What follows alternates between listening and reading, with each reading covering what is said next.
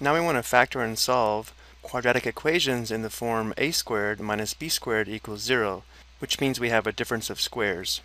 So just to review, if we have a binomial that's a difference of squares, it will factor into two binomial factors, where one factor is a plus b, and the other factor is a minus b.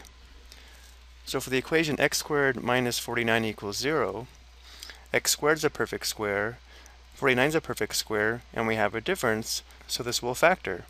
To help us identify the value of a and b, it might be helpful to write this as x to the second minus 7 to the second equals 0. In this form, we can recognize that a is equal to x and b is equal to 7. So we'll have two binomial factors, where one of the factors will be x plus 7, and the other factor will be x minus 7. Of course, if we want to, we can multiply this together to verify this is equal to x squared minus 49. But now that we do have this in factored form, and we have a product equal to 0, either the first factor of x plus 7 must equal 0, or the second factor of x minus 7 must equal 0. now to determine our solutions, we'll solve these two equations for x. So to solve x plus 7 equals 0, we subtract 7 on both sides. We'd have x equals negative 7, or to solve x minus 7 equals 0, we would add 7 to both sides. So we have x equals positive 7. So our solutions are x equals negative 7 or x equals positive 7. And sometimes you'll see this written as x equals plus or minus 7, meaning both positive 7 and negative 7. Now looking at our second example, if we want to solve this by factoring, the first step is to set this equation equal to 0. So we'll start by subtracting 81 on both sides of the equation.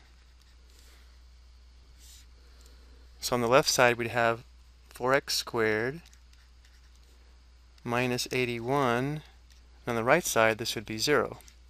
4x squared is a perfect square, 81 is a perfect square, and we have a difference, so this will factor.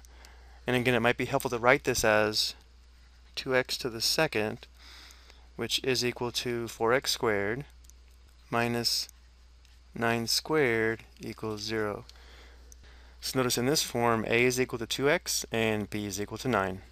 So this will factor into two binomial factors.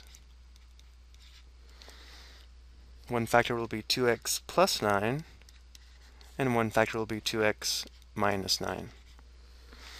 And again, because we have a product equal to 0, we can apply the zero product property, which means the first factor of 2x plus 9 must equal 0, or the second factor of 2x minus 9 must equal 0.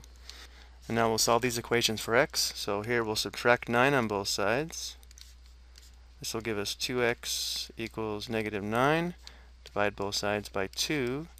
We have x equals negative 9 halves. Or, for the second equation, we'd add 9 to both sides.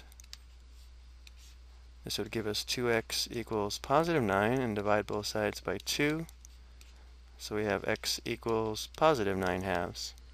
And now we have our two solutions to our equation. And again, if we wanted to, we could list this solution as x equals plus or minus 9 halves. Okay, I hope you found this helpful.